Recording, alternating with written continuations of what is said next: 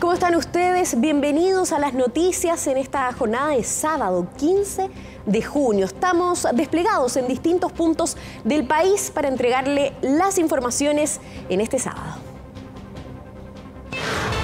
Ahora.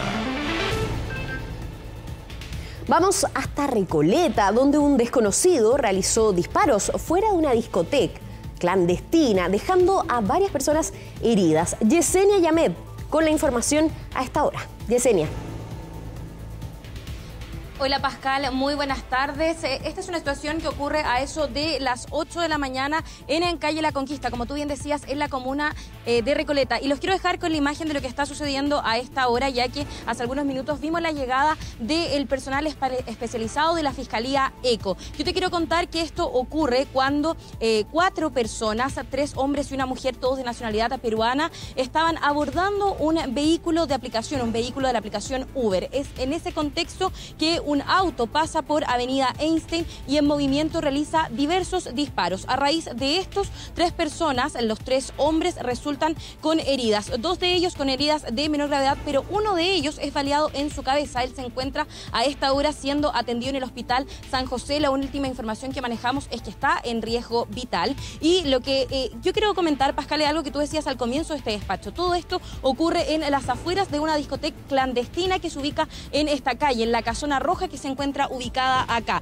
Lo que los vecinos nos relatan es que esta es una situación que no viene de ahora, que ha pasado ya a lo largo del de, eh, último tiempo, que se ha estado repitiendo, en los cuales ellos han tenido que convivir con distintas peleas luego de que la fiesta termina. De hecho, Pascal, te comento que Informe 24 de nuestro canal, hace un tiempo atrás había hecho un reportaje sobre esta situación en el cual habíamos podido mostrar un poco de lo que se vivía al interior de esta casona, de las fiestas que se hacían, la bulla con la que los vecinos vivían y las peleas que se formaban luego de que eh, todas estas fiestas terminaran. Yo te quiero invitar a que pasemos a escuchar, de hecho, declaraciones de los vecinos de eh, acá, de la comuna de Recoleta, sobre esta situación. Toda la semana hay balazo. Toda la semana, para mí no es nada nuevo. Yo la semana ah, pasada también eh, la fiesta, la semana antepasada, aquí toda la, todos los fines de semana se hacen fiestas de noche. Sentimos nomás que nos vimos, sentimos el auto que pasó soplado pero ya pensamos que podían ser una, unas balas fogueo, pero cuando ya nos dimos cuenta que la cosa era más seria, cuando llegaron los carabineros ahí a ver si eran balas, se encontraron con Castillo. Yesenia y los vecinos lo comentan, ¿no? Es un lugar, un epicentro finalmente de incivilidades y en este caso, lisa y llanamente, delitos, eh, pero ellos han recurrido a alguien, eh, han solicitado la ayuda de alguna autoridad para eliminar este foco finalmente de, de delito, de delincuencia que se ha transformado esta discoteca clandestina. Sí, Pajal, mira, ellos nos comentan los vecinos que em, hace un tiempo atrás, hace un tiempo ellos hacen esta denuncia tanto a carabineros, que ellos llamaban a carabineros en reiteradas oportunidades, que también han hablado con el municipio y que de hecho, luego de que TVN muestra que 24 horas muestra este reportaje, las fiestas bajan, que antes hacían eh, viernes, sábado y domingo, y eso cambia, que ahora se estaban haciendo solamente los días sábados. Sin embargo, eh, que desde hace un tiempo atrás esta situación ha ido increciendo, que los sábados hacían, que era en un contexto en el cual se escuchaban diversas eh, peleas, pero que no se había llegado a la balacera, que ahora, hoy día despiertan con esto y que ellos cuando llamaban por la música alta, eh, Carabineros venía, se percataba de lo que estaba pasando y eh, se iban. ¿Por qué? Porque cuando uno pasa por afuera de esta casona, nosotros lo, lo, pudimos ver, nosotros en terreno pudimos ser testigos de eso, que cuando nosotros pasábamos por afuera de esta casona, la música por el frontis no se escucha está todo apagado. Pareciera que acá al interior no hay una fiesta y que Carabineros no puede ingresar eh, sin una autorización. Si no se está viendo que se está cometiendo un delito en terreno, ellos no pueden ingresar. Esa es una de las situaciones que ellos viven. Ellos nos decían, hablamos con el municipio, hablamos con carabineros, sin embargo, el resultado sigue siendo lo mismo y estas fiestas se siguen realizando acá y hoy terminan con eh, estas tres personas baleadas y uno de ellos en riesgo vital, Pascal.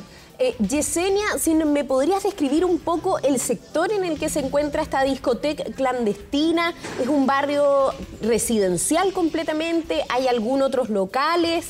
Eh, si me lo puedes describir un poco también para las personas que están viendo en sus casas.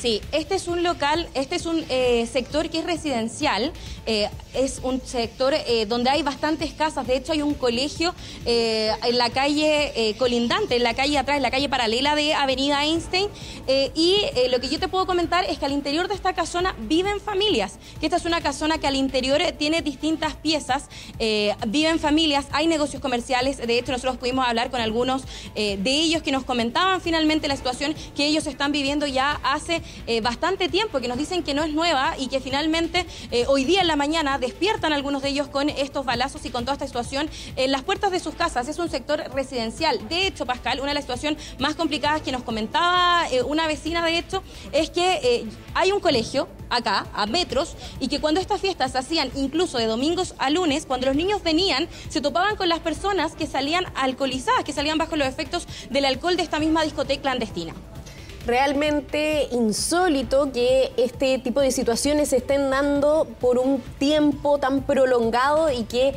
eh, hasta ahora incluso lo hayamos informado nosotros a través de 24 horas, eh, teniendo esta información, no se haya eh, puesto, no se haya detenido este tipo de fiestas clandestinas que en este caso terminaron con una persona en riesgo vital. Yesenia, tomamos contacto más adelante. Cinco extranjeros fueron detenidos por el secuestro de una mujer en Talagante. La víctima, que estuvo desaparecida por tres días, se encontraba en una toma. Sofía Carrizo, desde el lugar, desde el lugar bien digo, nos informa.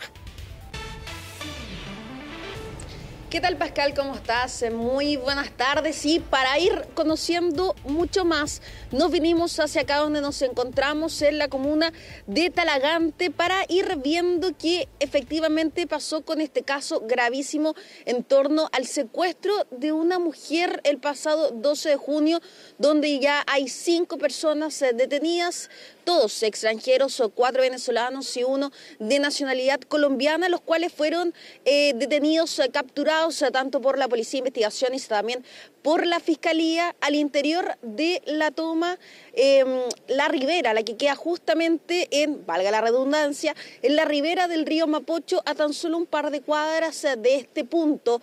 Bueno, fue a través de un amplio operativo por parte de la policía y también del Ministerio Público para dar con el paradero de estas personas que mantuvieron a esta mujer retenida en un lugar donde además también fue torturada por aproximadamente tres días desde el pasado eh, miércoles y desde entonces estos sujetos em, llamaban al marido de esta mujer para solicitarle 20 millones de pesos para su libertad. Pero antes de entrar en detalle, Pascal, en torno a este caso, todos los eh, antecedentes que se manejan, obviamente como equipo de prensa, vinimos al lugar, estuvimos justamente donde está esta toma, este asentamiento irregular, donde ingresa justamente la intersección de José Lyon con pasaje Mercedes. Este campamento eh, nosotros lo pudimos ver durante horas de esta mañana, estaba bastante afectado por las lluvias. Queda justamente en una bajada ahí en la ribera del río Mapoche, por lo mismo el nombre, y tuvimos la oportunidad de hablar con las personas que iban saliendo. Obviamente agradecemos eh, la eh, voluntad de poder hablar con los micrófonos de Televisión Nacional, donde les preguntamos en torno a este caso y también de lo que viven día a día en ese lugar. Ellos nos decían que efectivamente hay situaciones raras, se han escuchado disparos, se han eh, visto de em, hechos que obviamente ellos no están involucrados, que ellos se permanecen justamente dentro de su metro cuadrado, que desde la casa al trabajo y viceversa. Eso al menos nos decían las personas que habitan en este campamento que ya lleva varios años y que residen de personas de distintas nacionalidades. Hablamos con personas eh, ecuatorianas y también eh, colombianos y también con una vecina donde ella decía y lamentaba que lamentablemente el sector ha cambiado para peor en estos eh, últimos tiempos. Pasemos a revisar declaraciones. Esos temas que eh, hacen sus cosas por abajo. Por abajo. No, que los vecinos. Mm, mejor. mejor. Que vaya bien. como todo. Igual también acá arriba se escuchan balazos. Ya. Pueden que sean balazos, como pueden que sean juegos artificiales. Como le digo yo, de mi trabajo a mi casa, de mi casa a mi trabajo. ¿Su metro cuadrado? Mal. Me imagino. Sí, no, tuvieras cómo era esto, maravilloso. Yo soy criada y nací acá.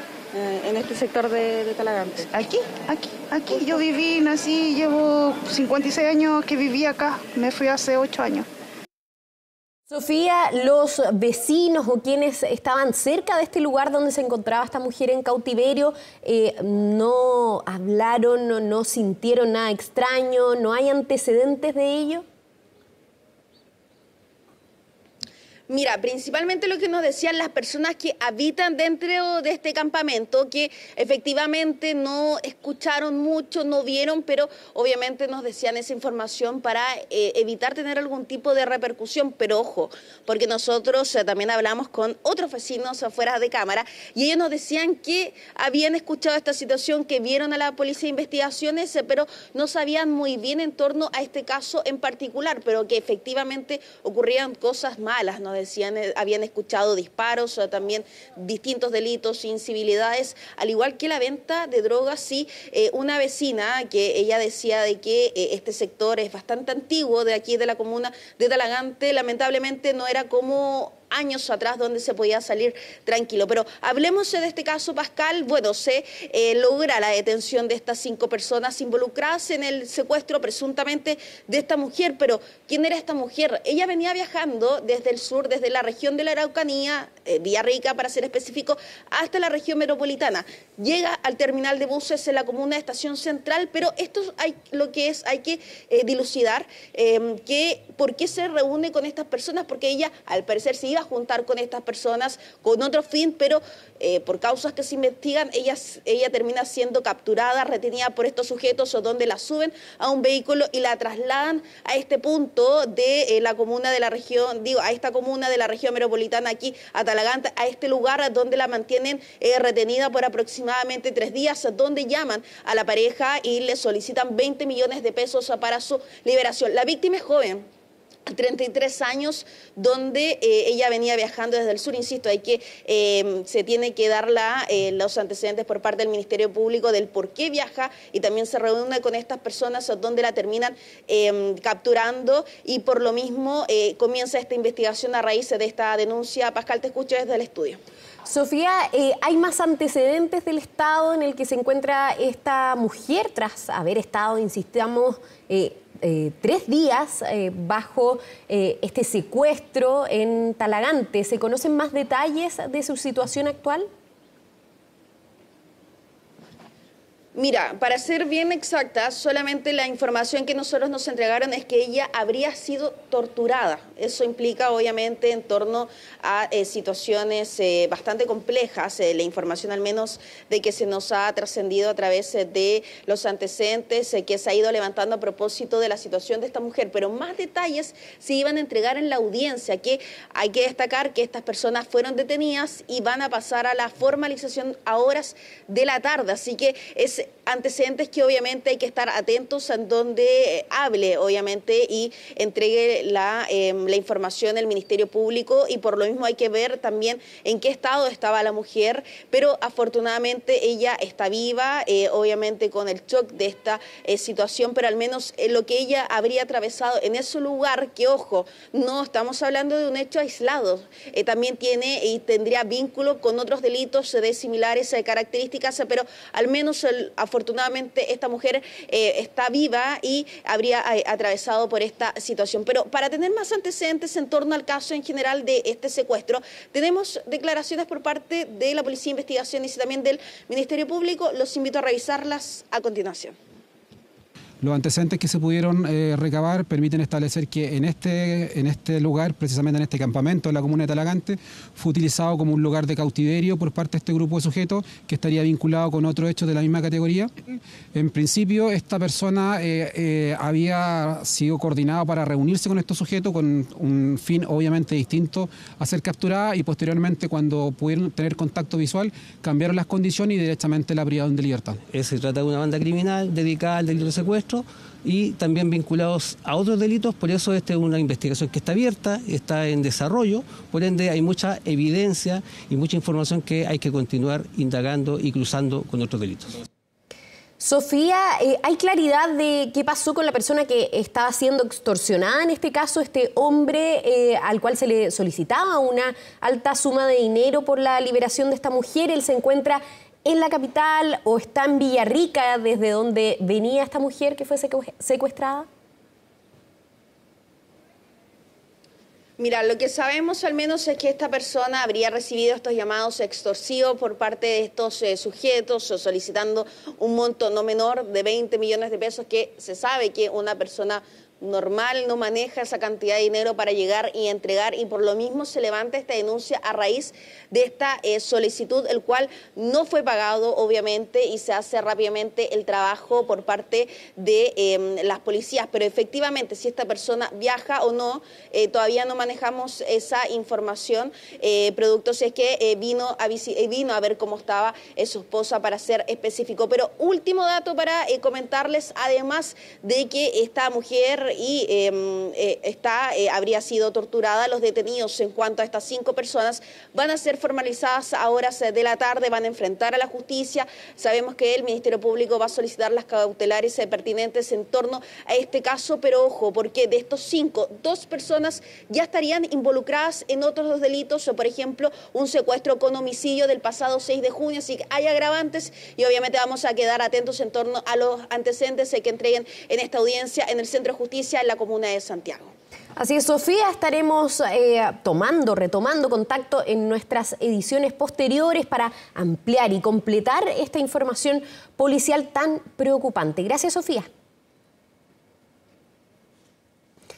Y Senapred declaró alerta roja para las comunas de Pitufquén y Carahue, en la Araucanía, por desbordes de ríos. Todos los detalles hasta ahora con Catalina Sánchez. Catalina.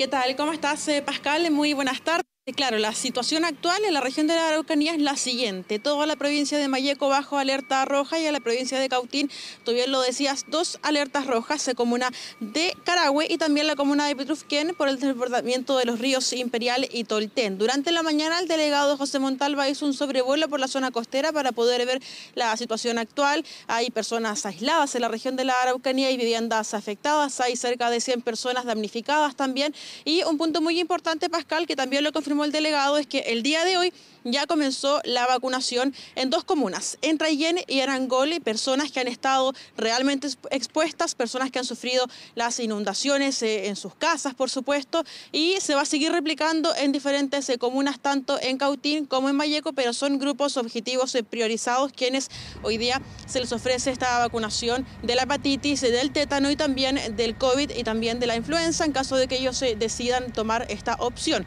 El detalle que entregaba el delegado es el siguiente. 2.000 personas aisladas, 99 damnificados, 20 personas albergadas, principalmente en la provincia de Mayeco, 485 viviendas afectadas, 19 con un daño mayor y también una casa destruida totalmente en la comuna de Angol. El día de ayer se adelantaba que el delegado pidió al Ministerio de Agricultura decretar zona una emergencia agrícola. Sin embargo, todavía no hay respuesta para aquello. Y respecto a esta solicitud también de zona de catástrofe, el delegado comentaba que eh, esto está relacionado con las ayudas tempranas que se están entregando en diferentes sectores. Mediante este sobrevuelo, Pascal, se mm, levantó una bandera blanca en una zona justamente de la provincia de Cautín, que eran personas que estaban aisladas. El delegado pudo parar, pudo conversar con estas personas, se les está entregando ya eh, esta ayuda inmediata, las personas están con botes para poder movilizarse, así que el daño, comentaba el delegado, es grande, por cierto, pero las ayudas hoy día están llegando, sobre todo a las personas que se encuentran aisladas en diferentes eh, comunas de la región de la Araucanía. Pascal. ¿Hay alguna solicitud en específico que sea más urgente que tú hayas escuchado por parte de las personas que están afectadas en estas zonas? Sí, un punto muy importante respecto de la zona costera específicamente, le preguntábamos al delegado cuál es la ayuda más urgente, él decía que es la leña húmeda, que como las casas están inundadas, muchas de, muchas de ellas ya se está trabajando con Senapred para poder entregar eh, justamente este elemento, Senapred también está entregando Pascal kit de aseo, sobre todo para las casas que han sufrido un daño mayor, eh, los eh, sacos de carbón, también estos sacos para poder evitar que el agua ingrese a las casas. El delegado entregó un punto de prensa hace solo unos minutos atrás en conjunto con Carabineros, que lo acompañó en este sobrevuelo, y también con la directora de Senapred. Pasemos a escuchar qué fue lo que él nos comentaba. Hemos evaluado y pedido también zona de catástrofe principalmente por las ayudas tempranas. Pero se nos ha señalado que las ayudas tempranas van a llegar independiente haya zona de catástrofe. Entonces, si nosotros tenemos las ayudas tempranas, lo importante acá es que lleguen a las familias. Eh, no que pongamos ponerle nombre a las alertas sin tener las ayudas tempranas no es lo que nos sirve, lo que nos sirve es llegar con las ayudas.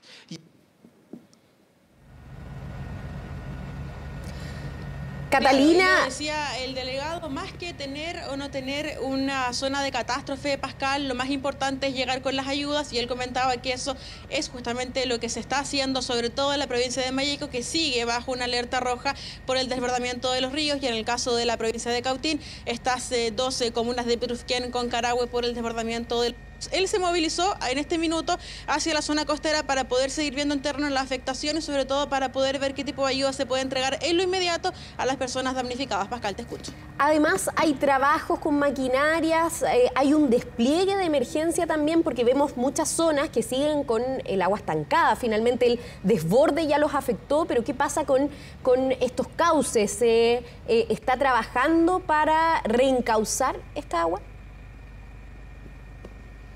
Sí, totalmente. El día de ayer veíamos, eh, por ejemplo, la zona de Curarrehue, donde hubo también el desbordamiento del río Trancura, el trabajo con diferentes maquinarias que han puesto a disposición los municipios, eh, también en coordinación con la delegación, el gobierno regional. Son maquinarias, Pascal, eh, que son realizan labores muy importantes para el despeje de caminos, sobre todo cuando hay deslizamiento de tierras, específicamente, por ejemplo, la zona de Curarrehue. El día de ayer hubo un deslizamiento a Isocabanes y, por lo tanto, el peligro sigue constante. Por eso el llamado sigue siendo el sentido común, el llamado es a no exponer a no transitar personas que se han visto afectadas con deslizamiento o con socavones porque todavía la emergencia no ha finalizado en su totalidad. Se acerca, como ya lo sabemos, un nuevo sistema fatal que podría afectar en menor manera a la región de la Araucanía, pero eso no quiere decir que el peligro no esté presente porque como la tierra ya está húmeda, lo decía Senapred, podrían generarse nuevos deslizamientos Estamos muy atentos a lo que siga ocurriendo con esta información, Pascal, y por cierto, con este tipo de ayudas que se entregan en el eh, mediano y corto plazo a las familias damnificadas. Muchísimas gracias, Catalina, por la información.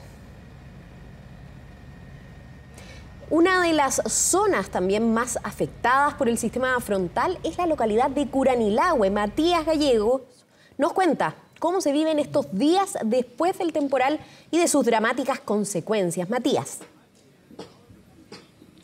Sí, ¿qué tal? ¿Cómo están? Buenas tardes. Al menos ha cesado la lluvia, pero se mantiene la alerta roja de la suspensión de clases en la comuna de Arauco y Curanilahue. Quiero que veamos la imagen en vivo de Pedro Guillipán, que nos da cuenta, ¿no?, el desastre que ha dejado la subida, ¿no?, del río, la altura que llegó en esta población Juan Benítez Mesa, cerca de un metro y medio. Y aún los vecinos luchan con el barro, luchan con, con esta eh, remoción, ¿no?, que hay que sacarla antes de que se endurezca, porque luego se torna extremadamente difícil, se torna muy dificultoso sacarlo de las casas y sacarlo de los patios. La necesidad ahora es esta para también prevenir enfermedades, prevenir infecciones, que es tan importante en este momento donde eh, aún se trabaja para salir adelante. Lo que sí la gente quiere salir adelante, la gente tiene este eh, espíritu de superación y tiene también, por supuesto, las ganas de comenzar a construir de nuevo, porque la verdad es que hay casas como esta que vamos a entrar a continuación en la casa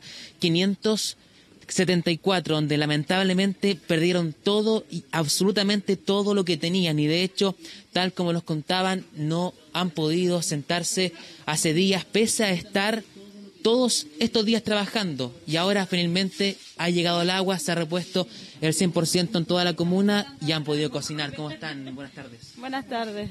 Bueno, nos contaban ustedes, las señoras sobre todo delante, que han perdido todo, pero se están poniendo de pie, ¿no? Lo estamos poniendo de pie, levantándolo otra vez, así como estamos. Pero aquí estamos todos bien y lo único que pasó es que perdí todas mis cosas, mi silla, que ahora no tengo qué sentarme. Bueno, pero ya vamos a salir adelante. El espíritu que hay, ¿no? Sí. Así que tenemos buen espíritu para seguir adelante. ¿La ayuda? ¿Llegaba la ayuda? Sí, se ha llegado, ha llegado ayudita igual. Así que tenemos ayuda y aquí estamos trabajando para cocinar, para poder eh, alimentarlo un poco.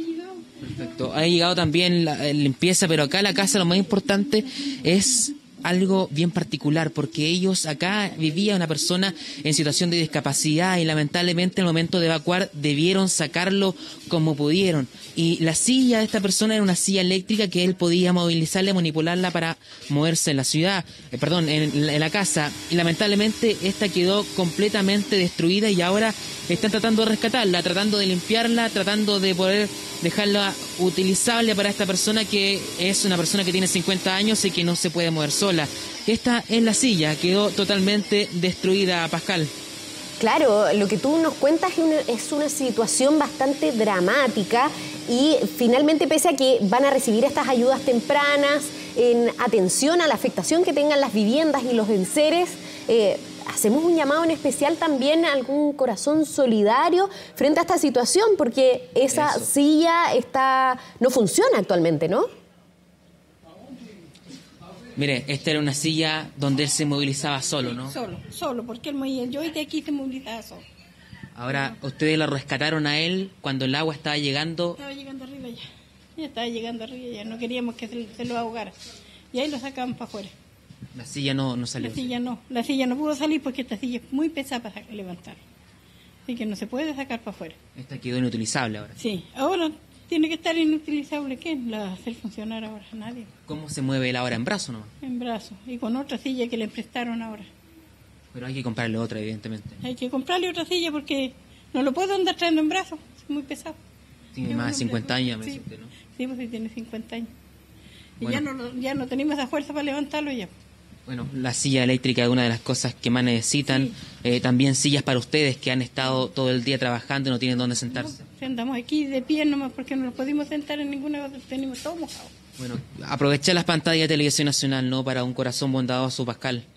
Tal cual, o sea, e- es parte de, nuestro rol también dar a conocer estas historias eh, luego de este temporal que dejó, ya lo hemos dicho, en días anteriores, ¿no? Curanilahue eh, ha sido sindicado como la zona cero de eh, los graves daños producidos por el sistema frontal y aquí vemos este caso en específico que van a recibir ayuda eh, desde la próxima semana. Hay un primer pago el día miércoles, un segundo el día viernes, pero claramente eso probablemente no va a alcanzar para hacerse cargo de estas otras problemáticas como esta silla eléctrica que ellos han perdido. Matías, la situación del barro también es muy compleja, ¿no? Ellos tienen que tratar de sacarlo de sus hogares, que finalmente esto después se seca y es mucho más difícil. Sí, y la situación de la silla es prioridad para ellos también, ¿no? Y el barro sacarlo en este momento, caballero, usted me contaba delante que después cuando se pone sólido es extremadamente difícil sacarlo. Difícil sacarlo y lo otro que el, olor que emana el barro es tremendamente hediondo. Sí, ese es el problema. Pero allá en delante anduvieron en la mañana sacando un, po- un poco de barro. Yo lo que tengo que hacer ahora es empezar a lavar todo, madera, todo lo que pille con barro, lavar con la hidro. Para poder que se pueda secar. Pero lo, lo- lo que más urgente es lo que pido yo, puta, un asiento por último para sentarme. Porque no tengo nada para sentarme, nada, nada, ni, ni leña seca, nada. Y estar todo el día parado aquí, Trabajando. trabajando. Ahora nos salimos porque yo trabajo, nos salimos si el patrón lo va a dar más pega o no lo va a dar más pega. Y ahí también trabaja la, la memoria porque tengo una pensión, una miserable pensión. ¿Qué hago con 200 mil pesos yo? Tengo máquina. Su camioneta se le quedó Se estancada. quedó, eh, se quemó, o sea, se llenó de agua. Bien, gracias caballero. Una silla. Eh, esa es la situación que él pide. Él pide solamente una silla, un banco donde sentarse. Eh, poder recuperarse para ellos también es complejo. Más en la situación de la silla que ellos tienen que recuperar para darle movilidad otra vez a la persona que se encuentra ahora en brazo de ellos para poder movilizarse. Ellos han rellenado ya las fichas PIBE, eh, ya pasó el encuestador por acá, han comenzado a llenar este documento para que le llegue la ayuda. Y también sobre eso se refirió el ministro del Interior subrogante, quien pasamos a escuchar las palabras que dio. Efectivamente, yo había comprometido a hacer el primer pago el día miércoles. El presidente de la República me ha pedido que no sea el miércoles, que sea el martes. Por lo tanto, estamos muy concentrados en poder eh, fortalecer la capacidad de aplicación de la ficha FIBE. Hay equipo en todas las comunas. Quiero despejar una duda. Por supuesto, Curanilagüe es la comuna más afectada, estamos muy focalizados ahí. Eh, la subsecretaria de Servicios Sociales, Francisca Gallego, el Ceremi de Desarrollo Social, están desplegados en la zona y hay equipos, hay más de 50 personas aplicando ficha FIBE. Claro, una ayuda urgente que necesitan estas familias afectadas, eh, ya lo decían eh, también en los distintos balances que se han dado a conocer, más de 6.000 damnificados solo en la región del Biobío, miles también de casas afectadas, ya sea con daño menor, pero también con daño severo, muy grave, y ahí vemos también en imágenes cómo trabajan arduamente para este proceso, que también es muy complejo y difícil, eh, que es limpiar los terrenos y tratar de pararse, que es lo que tú eh, planteabas en este despacho al principio. El espíritu de ellos está también de levantarse tras la tragedia, pero necesitan ayuda y algo tan básico que pide eh, este vecino de Curanilahue como una silla, ¿no, Matías? Sí, así es. Mira, este es el barro, Pedro, miren, que ha salido de las casas. Este barro ha salido desde el interior y se ha acumulado también desde ellos han barrido, porque aquí ellos han indicado que la ayuda y cómo ellos lo han tenido que hacer es completamente solos. Ellos han acumulado este barro acá porque cada vez que entraban otra vez a sus casas quedaba todo lleno de barro. Caminar acá es muy dificultoso y ellos son todos vecinos, todos vecinos que se han reunido acá para tratar de salir adelante. La ayuda acá nos han comentado que solamente ha sido de voluntarios, que solo ha sido de ONG, pastores, iglesias, pero la verdad es que la ayuda del, municipio ellos mismos nos han contado ha sido bastante poca. Y con estas mangueras, claro, la, comunidad ha salido a ayudar, han tratado de lavar las calles. La comunidad ha salido a ayudar y apoyarse entre ellos. La comunidad ha salido a ayudar, Pascal. Exactamente. Eh, la, la solidaridad, solidaridad ha sido el principal puente para que estas personas puedan salir adelante, estas personas eh, tengan esa motivación cuando aún dan rastro, miren los colchones acá. Aquí ellos dormían y está completamente mojado. Esto está inutilizable. Ellos debieron sacarlo porque esto ya no se puede usar. Eh, nosotros preguntamos a uno de los vecinos, ¿esto se podría haber secado? Y me decía que la cantidad de agua que tenía, la humedad ya estaba comenzando a salir hongos. Y la verdad es que esto no se puede ocupar, esto había que botarlo, no había más opción. Esto está aún en la calle, no lo han podido sacar de acá. Y así como esta situación, hay cientos de casas. Son 1.300 viviendas las que fueron damnificadas, las que fueron anegadas por la acción del río que llegó a cerca a una altura de un metro y medio. La ayuda va a seguir y esperamos que se concrete pronto. Matías, una última pregunta. Eh, ¿Qué ha pasado con la situación del agua, que era también algo muy complejo eh, que vivieron los días anteriores los vecinos, ya que no había suministro? Eh, ¿Esto se ha ido reponiendo ya? ¿Están todos con agua? Mira, según el último comunicado que dio la empresa a cargo del suministro, indicó que el 100% de las casas ya tiene acá en la comuna de Curanilagüe eh, agua, agua potable, que era lo que más urgía acá, que necesitaban para lavar las casas, para cocinar y para tomar. Eso sí, la gente que tiene agua potable acá debe hervirla al menos por un mes, a eh, una semana al menos en ese periodo que ellos saquen, hervirla y después tomarla, porque eh, aún puede estar contaminada no por la acción del agua que subió cerca, repito otra vez, cerca de un metro y medio. Tal cual. Matías, muchísimas gracias. Vamos a, seguir más adelante en contacto, por supuesto, para seguir mostrando la situación en la que se encuentra esta la zona cero eh, de la catástrofe de este sistema frontal para que también no se sientan solos, ¿no? Así es. Ese es el espíritu que tienen y, y ellos intentan salir adelante y también hemos visto como entre los propios vecinos se han ayudado para limpiar las casas, las fachadas, el interior a los adultos mayores, que es lo más complicado sobre todo. Gracias, Matías. Ahora vamos hasta Quilpué. En la población argentina de esta comuna hay casas que están a punto de derrumbarse debido al sistema frontal. Catalina Balboa está en el sector y nos cuenta más detalles.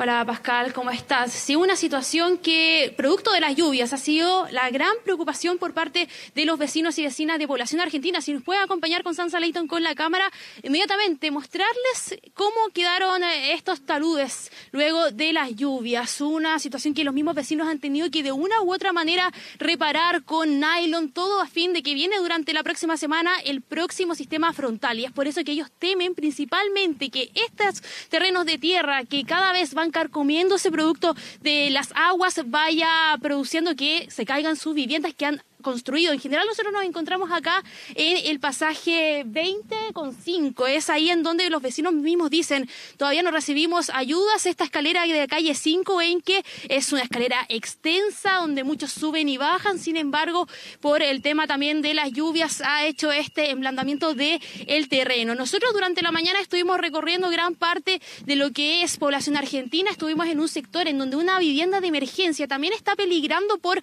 estos taludes y las aguas nosotros conversamos con la vecina, con Jocelyn, que nos decía, nosotros no tenemos mayores eh, soluciones, solamente son soluciones parcha, ahora se viene un sistema frontal y no sabemos qué va a pasar, porque han tenido también eh, goteras, han tenido, se han llovido, entonces es un hecho que eh, dicen, necesitamos alguna medida de aquí al martes, quedan solamente dos, tres días y no tienen más que hacer.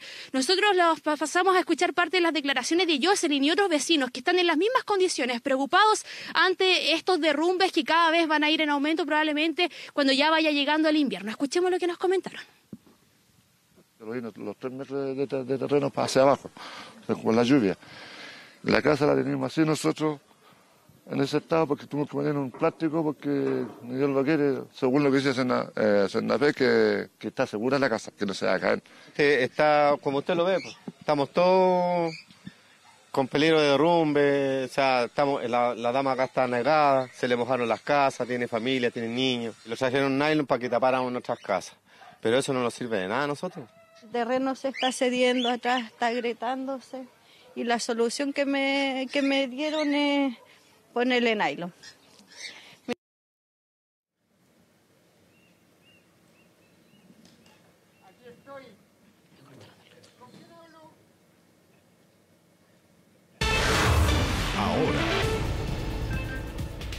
Interrumpimos esa información, ya regresaremos, pero en la región de Coquimbo, 45 vecinos de una población en Tierras Blancas viven una pesadilla. Las lluvias colapsaron el sistema de alcantarillado y sus casas se inundaron completamente.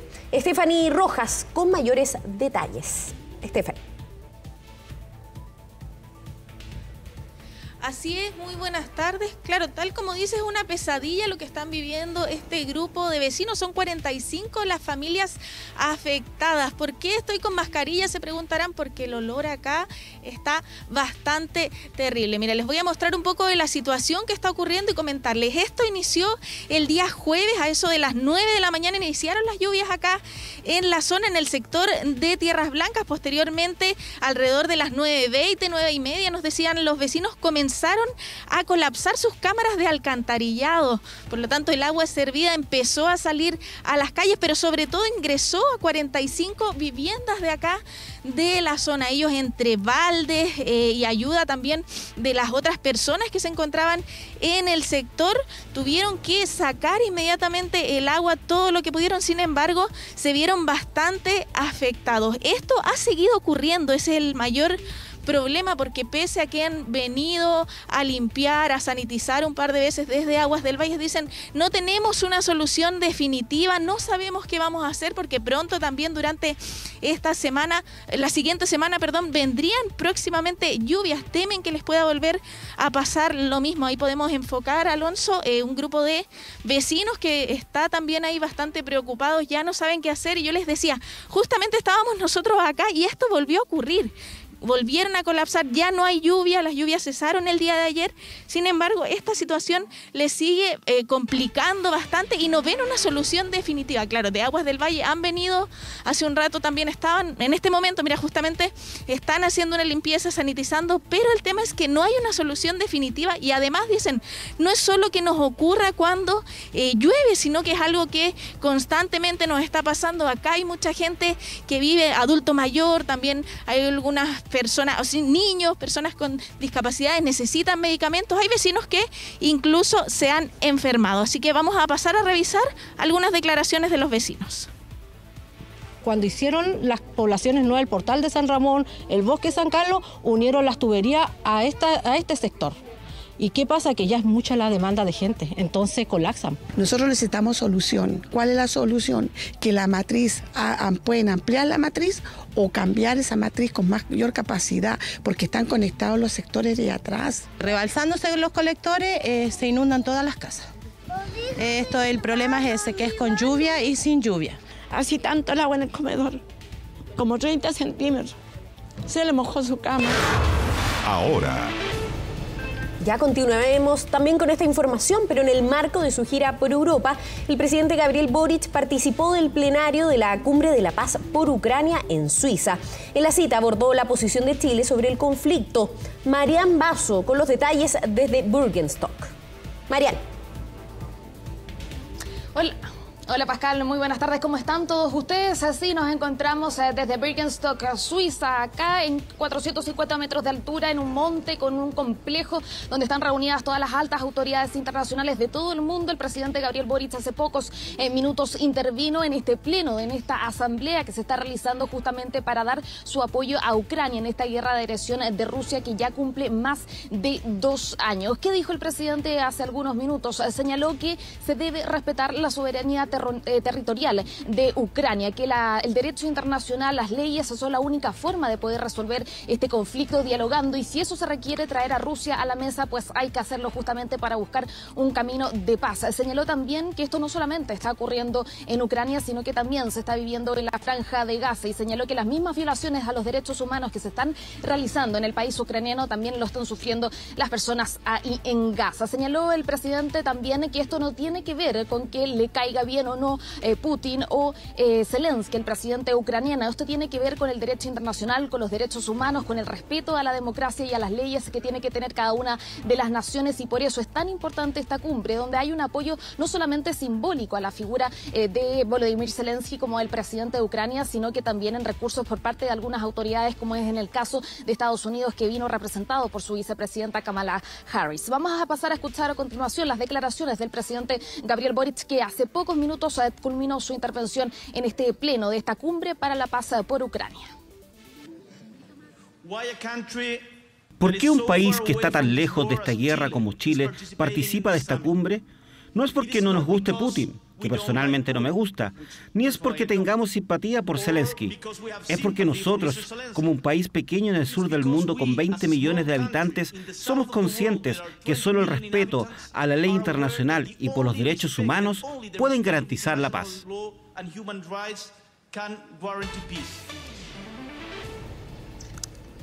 Sí, el presidente entonces señalaba que valoraba esta instancia, el apoyo también que se ha entregado de todos los países que forman parte de esta cumbre hacia el presidente ucraniano Volodymyr Zelensky. Hemos visto, por ejemplo, la participación también del presidente argentino Javier eh, Milei, de la presidenta de la Comunidad Europea Ursula von der Leyen, también de la OEA, eh, de distintos mandatarios que han llegado hasta acá, hasta Suiza, para poder reunirse en esta parte, en esta eh, cumbre tan exclusiva de los mandatarios para entregar este apoyo a Ucrania. Ya lo decíamos, a más de dos años de comenzada esta guerra. Pero el presidente Gabriel Boric más temprano también tuvo reuniones de alto nivel. Se reunió con el presidente, con el primer ministro, perdón, eh, de Irlanda para tener una reunión bilateral, pero la primera cita la tuvo con eh, Volodymyr Zelensky, el presidente de Ucrania, con quien ya se había reunido en otras ocasiones y habían conversado también esta vez en esta instancia. El presidente Gabriel Boric reiteró su apoyo a Ucrania, sobre todo por la crisis de seguridad alimentaria que está sucediendo en ese país y también el apoyo a los niños eh, que se han visto en una situación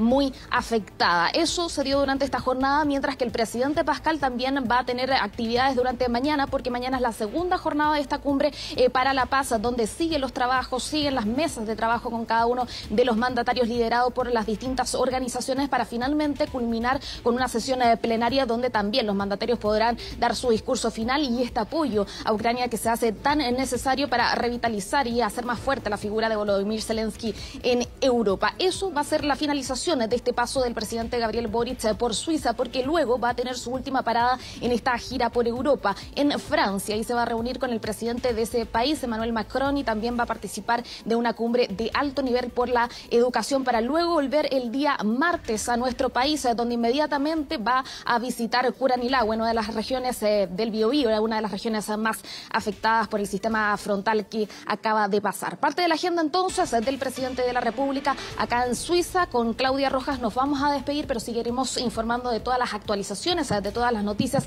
que están sucediendo en esta agenda del presidente Gabriel Boric por su gira por Europa. Muchísimas gracias, Marian.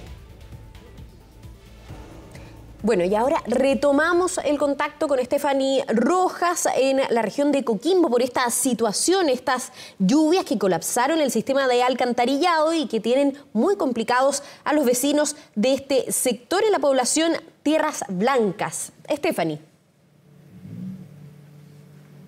Claro, como te comentaba, los vecinos están desesperados porque, como les decía, producto de las lluvias fue que colapsaron. Entonces los alcantarillados, recibieron ayuda, nos decían, de carabineros también quienes les trajeron algunos sacos, pero pese a que la lluvia, como les comentaba anteriormente, cesó, ya eh, el tema es que sigue ocurriendo, o sea, nosotros justamente nos encontrábamos acá y nuevamente comenzó a pasar lo mismo. Ellos, eh, ustedes me imagino lo están viendo ahí a través de las imágenes tuvieron que sacar el agua con baldes dentro de sus viviendas, tuvieron que pedir ayuda de todas las personas y pese a que anteriormente, solo unas horas antes, habían venido a limpiar estas alcantarillados desde Aguas del Valle, igual les ocurrió y eso los tiene bastante complicados, ya no saben qué hacer, nosotros estamos también esperando porque van a venir las autoridades para poder encontrar una solución definitiva, es muchas veces lo que le ha pasado, ustedes pueden ver también de fondo acá los si podemos mostrar, los vecinos están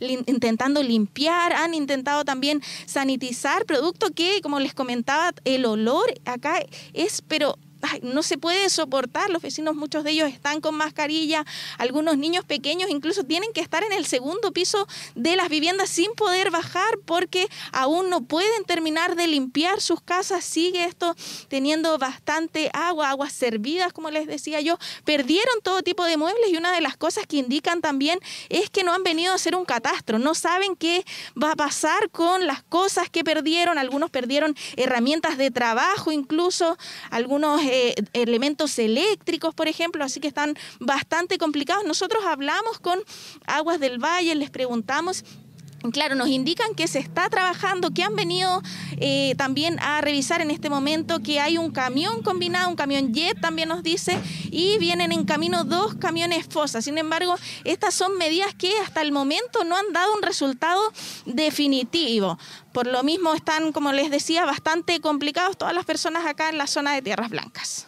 Nos podemos imaginar también, Stephanie, la situación eh, que también es muy compleja desde el punto de vista sanitario. ¿Han recibido alguna visita de alguna autoridad en este ámbito, en el tema sanitario también?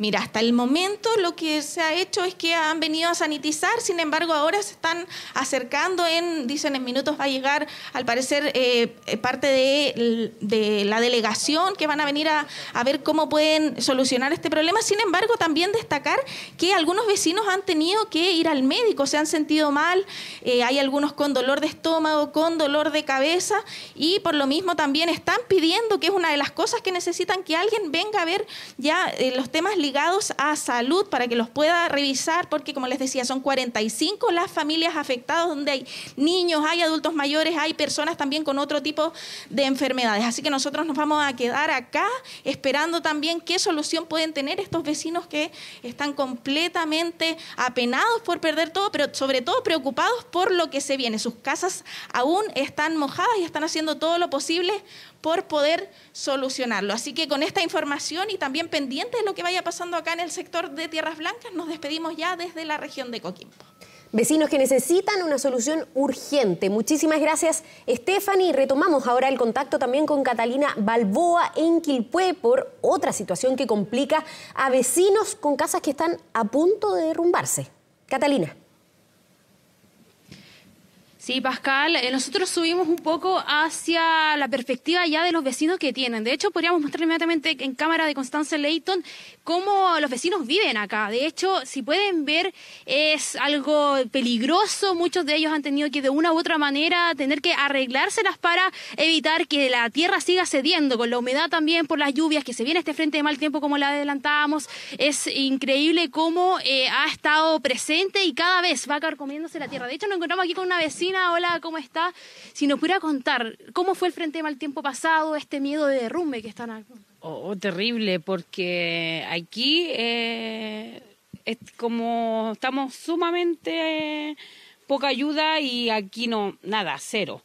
Eh, por las de nosotras, ayuda de vecinos, no hemos estado ayudando unos a otros porque aquí la tierra se va, se cae a cada rato y aquí ustedes ven sacos de tierra porque no tenemos cómo llevarla, sacarla, bajarla, y esto es escala, no tenemos cómo subir un vehículo y cargar el vehículo. Entonces se nos hace más pesado y estar pendiente cada uno de nuestros terrenos porque todos están cediendo. Eh, aquí la municipalidad dijeron que iban a venir a hacer galeones, ya llevamos cuatro meses, nada, lo único que trajeron fueron nylon y es lo que está, lo que ve usted, no tenemos nada. Tienen nada, vecina, muchas gracias. Es lo que ellos viven, sienten, se sienten abandonados, por eso mismo es que hacen un llamado a las autoridades. Pero no solamente por esa preocupación, Pascal, sino también por otras, por ejemplo, la seguridad. Muchos le han dicho que se vayan al albergues por el tema de las lluvias, sin embargo, los mismos vecinos dicen, temen que eh, les vayan a robar en sus viviendas, muchas de ellas, la mayoría donde nosotros nos encontramos son autoconstrucción, por eso temen que eh, vengan algunas personas, incluso nos dicen en las noches, transitan por esta escalera de, de calle 5 y son desconocidos. Por eso son varios factores. Ellos dicen necesitamos apoyo de una u otra manera. También sabemos que no hay zona de catástrofe por los incendios en este lugar. Por eso mismo es que ya no hay militares caminando por las calles. Y es respecto a eso que los invitamos a escuchar parte de las declaraciones de los vecinos en torno a lo que es la seguridad acá en población argentina. Lo sentimos abandonado.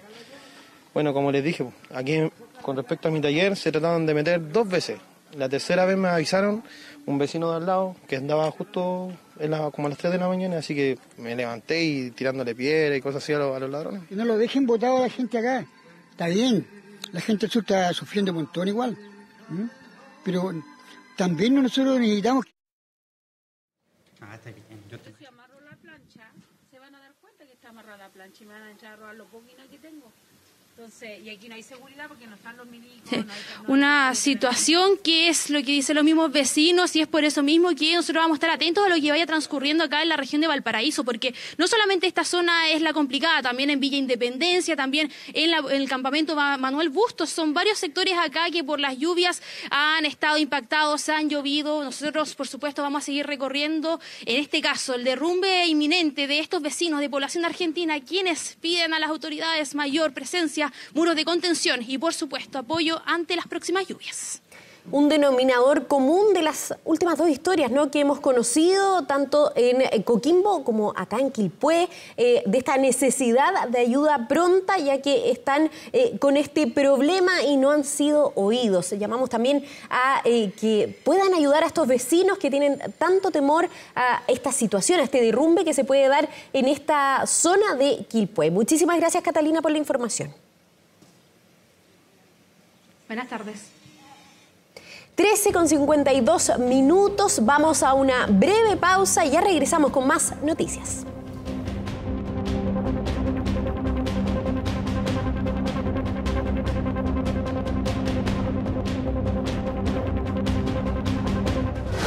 Ya volvimos con 20. Retomamos el contacto con Yesenia Yamet porque hay novedades respecto a esta balacera que ocurrió en Recoleta. Yesenia.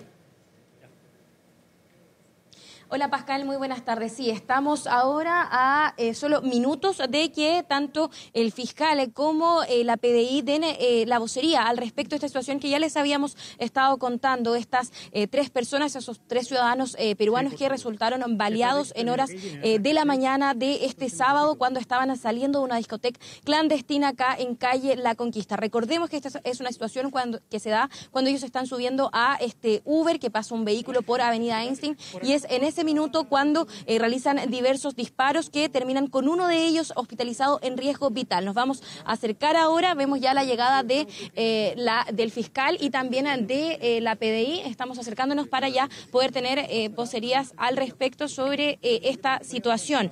estamos acá con el fiscal y también con la PDI. Nos estamos posicionando para poder conversar con las autoridades sobre este tema, para también conocer un poco si se mantenían quizás antecedentes de esta discoteca clandestina. Hola fiscal, muy buenas tardes. Es su nombre para eh, el registro. Estamos en vivo para 24 horas.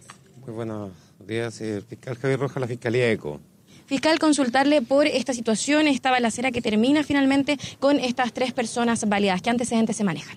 Sí, la Fiscalía en el día de hoy toma conocimiento a través de carabineros en un hospital. Llega una persona herida producto de impactos balísticos. En esa dinámica, la Fiscalía instruye a Policía de Investigación a la Brigada de Homicidios junto a personal especializado de laboratorio de criminalística de realizar empadronamiento, levantar evidencias, que darían cuenta que estas personas se estaban retirando de un inmueble, que sería un local, se está investigando cuál sería la actividad que se habría destinado, donde ellos solicitan el transporte de un medio de una aplicación, el cual llega al lugar y en ese instante son abordados por sujetos desconocidos hasta el momento, los cuales realizan diferentes impactos balísticos en contra del vehículo a bordo donde estaban estas personas con la intención de causarles la muerte. Fiscal, consultar, consultar el estado de salud de estas personas. Sí, las personas se mantienen en los servicios de urgencia, la cual eh, hay personas con riesgo vital, y eso es materia de, de investigación del estado de salud y la reserva de los mismos. ¿Una persona en riesgo vital? Seis personas con riesgo vital a raíz del medio utilizado y los impactos balísticos. ¿Y por qué se establece la concurrencia finalmente del equipo ECO? Bueno, acá la, Fiscalía dispuso de acuerdo a varios criterios, hay personas, varias personas lesionadas, tenemos un contexto de disparos con arma de fuego, en el sentido también hay una dinámica que están saliendo de un local que aparentemente estaría destinado para una fiesta o actividad eh, nocturna y en ese sentido se determinó, dado las características y la dinámica, lo informado por carabineros, eh, concurrir al sitio del suceso. ¿Se manejaban antecedentes de este mismo local en hechos anteriores? Hay denuncias, lo que aumenta Policía de Investigaciones, que hay, eh, más que el local, el sector que se ha visto con incidentes previos que concuerdan con dinámicas de personas que son o abordadas o lesionadas con este tipo de medios de armas de fuego de los, de los autores de los disparos que se conoce hasta el momento?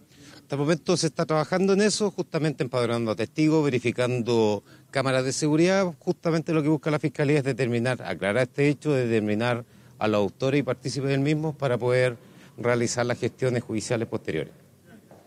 Bueno, escuchábamos parte de las declaraciones del fiscal ECO. Eh, Pascal, ahora yo te quiero invitar a que pasemos a revisar eh, otras informaciones de eh, carácter policial, debido a que en la comuna de Huachuraba, en horas de la noche, el personal de la Policía de Investigaciones frustró una encerrona. Todo esto se da en Pedro Fontova con Vespucio, cuando llega un vehículo gris al interior de, de este automóvil. Venían seis personas, cinco de ellas se bajan en este servicentro con objetos contundentes y comienzan a agredir a los bomberos que se encontraban a esa hora en esta bomba de eh, benzina. Es en ese minuto que personal de la Vicrim de Conchalí se percata de lo que está ocurriendo, llega hasta este servicentro, eh, se bajan, se presentan como eh, personal de la Policía de Investigaciones y es en ese minuto que uno de estos delincuentes hace el movimiento, la intención de sacar un arma y es en ese minuto que los PDI, los detectives de la PDI realizan siete disparos. A raíz de estos, tres personas resultan con heridas. Tres de estos delincuentes resultan con heridas, son trasladados hasta un recinto asistencial donde se permanecen fuera eh, de eh, peligro, se encuentran estables. Son detenidas las otras tres personas. En total son seis los involucrados, tres chilenos y tres peruanos, uno de ellos menor de edad. Revisemos lo que dijeron las autoridades al respecto comenzaron a eh, intimidar y agredir a los bomberos que se ubican en el servicentro con la finalidad de sustraer eh, especie de valor y dinero. Justamente en esos mismos instantes, eh, un vehículo de la Vicrin Conchalí, de la PDI, eh, se percató de lo, de lo que está ocurriendo, eh, donde uno de los bomberos solicitó ayuda. Los imputados hicieron una demanda de extraer un arma de fuego, razón por la cual los detectives, al identificarse, percutaron alrededor de siete disparos hiriendo a tres de ellos. Bueno, ya lo decíamos, seis personas en total son las involucradas, tres de ellos continúan hospitalizados, los otros tres van a pasar a su control de detención respectivo a raíz de toda esta situación. Finalmente, este es un robo que eh, el personal de la Vicrim de Conchalí logra frustrar eh, realizando estos disparos, Pascal. Muchísimas gracias, Yesenia, por también entregar estas otras eh, informaciones en materia policial. Buenas tardes. Tras el sistema frontal que afectó la zona centro-sur del país, el precio de la papa registró un alza de al menos un 20%. Incluso el kilo llegó a los mil pesos. Felipe Gallegos nos cuenta esta situación. Felipe, ¿por qué subió la papa tan rápido? ¿Cómo te va, Pascal? Muy buenas tardes. Y es la pregunta que se hacen muchos consumidores que a esta hora están realizando las compras de la semana acá en la Vega Central. Porque fíjate que la semana pasada el kilo de papa estaba entre los 700 y los 800 pesos. Ahora está en promedio a los 1000 pesos el kilo. Los voy a dejar justamente con imagen para que ustedes vean acá eh, esta cotización que estamos realizando justamente en la Vega Central. Claro, tras el sistema frontal, tras las intensas lluvias que tuvimos justamente durante la semana en la zona centro-sur del país, es una historia que se repite. Nuevamente el precio de este tubérculo que es muy usado por las familias chilenas justamente para preparar la comida, para hacer puré, para hacer papas fritas, para eh, echarlo justamente a la cazuela, para hacer papas mayo, para diversas preparaciones. Lamentablemente subió su precio eh, en torno al 20%. Como yo te contaba, Pascal, eh, entre 700 y 800 pesos costaba nada más a inicios de semana el precio del kilo de papa. Y claro, hoy día ya en La Vega se puede encontrar a mil pesos. Una noticia que, por cierto, lamentan los consumidores, a muchos los tomó por sorpresa, venían a realizar las compras de la semana y se encontraron con el precio de la papa disparado con un alza, eh, una subida bien considerable. Estuvimos conversando justamente con los consumidores, pasemos justamente a revisar lo que nos dijeron. Compré a 10.500 y ahora está a 17.000. Saco. Está muy, sí, el saco, está muy cara. Recién las papas ahí tenían, salían 13 lucas la malla y fueron le pagaron un cartel 16. Así, de la nada. Estaba ahora a mil pesos el kilo. ¿La semana pasada? 800. ¿De qué están hablando si la, la lluvia fue esta semana? La cosecha está hecha. Especulación, solamente especulación. Felipe, Sí. Felipe, tú conversando con los consumidores, eh, era bien claro el señor, el- eh, la última respuesta que escuchamos, ¿no? Él acusa claramente de especulación, con una sonrisa en su rostro, eso sí, pero ¿están molestos los consumidores por este precio que se incrementó en un par de días? Sin duda, de hecho, eh, tomándole la temperatura acá a lo que nos decían justamente los consumidores, es que eh, hay, hay, hay molestia justamente porque, claro, muchos los tomó por sorpresa, eh, muchos eh, no, no, no esperaban básicamente que subiera tan rápido el precio de este producto. Hemos estado conversando también con locatarios y les preguntamos por qué subió tanto el precio del kilo de papa y, claro, muchos lo responsabilizan al sistema frontal por varias razones. Primero, porque producto justamente de las intensas lluvias, hubo muchos menos trabajadores ejerciendo sus labores en el campo, era más complicado justamente en el campo trasladarse y poder transportar justamente la papa que ya estaba cosechada. En tanto, también puntualizan que hay mucha papa que estaba justamente pronta a cosechar, que sufrió daño también producto de estas intensas precipitaciones en la zona centro-sur. Esas al menos son tres razones que nos dicen justamente los eh, vendedores acá justamente en la Vega Central y que explicarían en parte por qué subió tanto el precio de la papa. Conversamos justamente con ellos, pasemos a revisar esas declaraciones. Con todo esto que ha pasado para el sur exclusivamente, que ya ha llovido harto, no, no pueden sacar la papa. Y aparte de eso, los que están en bodega tampoco pueden llegar camiones a cargar porque los caminos están cortados. Yo creo que ha subido un 20%. ¿Por qué? Porque no han sacado papa, eh, la papa nueva está bajo la tierra todavía. Y la otra que la que hay está la sureña, papa y guarda. Mal tiempo, una alza temporal. Por el motivo, ya todos sabemos, pero es temporal, ¿no? motivo de fuerza mayor, motivos temporales, nos dicen justamente algunos locatarios acá en la Vega Central, pero lo concreto es que este producto elevó su precio con fuerza tras las lluvias que tuvimos en la zona centro-sur, aunque hay alguna alternativa. Por ejemplo, la papa nueva, una que está con más tierrita, que hay que lavarla, está a 900 pesos el kilo. La más limpiacita, que ya está lista justamente para preparar, está en torno a los mil pesos. Y en ese local justamente que estamos viendo en pantalla, la tienen a 3 por 2 mil pesos. Así que cotizando, buscando, eh, eh, tratando de encontrar justamente alternativas. Hay algunas opciones para intentar ahorrar en medio de esta mala noticia para los consumidores, por cierto, esta alza importante que tuvo el precio de la papa solamente en un par de días. Muchísimas gracias, Felipe, por tomar el pulso ¿no? en uno de los principales mercados de la capital. Buenas tardes. Y ahora llegó el momento de revisar el tiempo. ¿Cómo va a estar en los próximos días? Vamos a revisar, por ejemplo, el día de hoy, 14 de eh, máxima. Eh, la mañana estuvo nublado, la tarde también nublada, pero vemos también cómo sale en la gráfica con un poquito de sol. En la noche también va a estar nublada. Domingo, 15 grados de máxima, la mínima será de 5 grados y estará parcial también con un sol que se asoma levemente. Lunes, 13 grados de máxima, 5 grados de mínima, nublado. El martes ya llega la lluvia, 6 grados de mínima, 12 grados de máxima con precipitaciones, así como el miércoles 13 grados de máxima, 5 de mínima, también se espera lluvia. El jueves 11 grados será la máxima, irá descendiendo la temperatura en el transcurso de la semana con 6 grados de mínima y estará cubierto. 14 horas 12 minutos, vamos a una brevísima pausa y ya regresamos con más noticias. 24 tarde. Llegó el momento de despedirnos, pero siga en compañía de TVN y también de Canal 24 Horas. Que tengan una excelente tarde. Chao.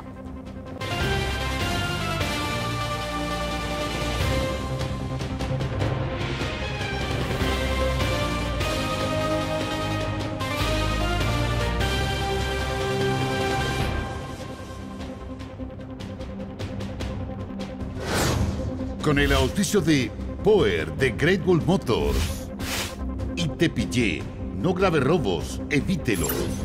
Hemos presentado 24 tarde.